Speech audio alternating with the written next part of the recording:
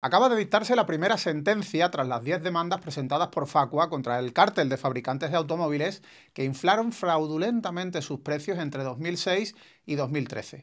El juzgado de lo mercantil número 16 de Madrid ha condenado a BMW a indemnizar con el 5% del precio de compra más los intereses legales hasta la fecha a los socios de Facua propietarios de automóviles de esta marca que se unieron a nuestra demanda. Los consumidores a los que representamos recuperarán entre 1.200 y 3.700 euros si la sentencia acaba siendo firme. Los consumidores que participan en estas acciones judiciales de Facua compraron automóviles de 15 marcas de fabricantes que conformaron el cártel para elevar los precios. Un cártel que fue multado por la Comisión Nacional de los Mercados y la Competencia en 2015.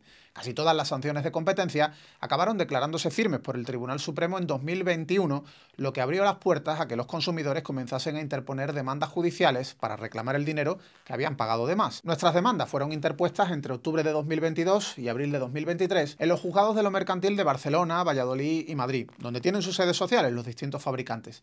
Ya empiezan a dar sus frutos. Vamos a ver qué es lo que ocurre con el resto de procedimientos.